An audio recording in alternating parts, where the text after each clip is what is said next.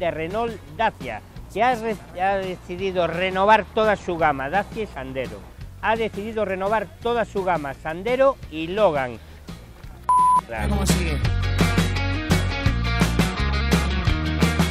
Hola Pablo, hola, ¿qué hace? ¿Qué hace? Como sabrán, el gobierno español acaba de decidir prorrogar el acaba de decidir prorrogar prorrogar. La industria no podía negar